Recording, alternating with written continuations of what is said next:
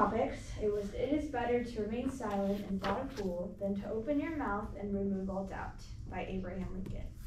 Um, another one was Girl Scout Oh, are you- cookies. Okay, go Another ahead, one was sorry. Girl Scout cookies. We have the Another same one, one. was success. Um, personally, I chose success. I feel like there's a lot that can go into success in regards to speaking about it. you Um, go. You'll get six minutes.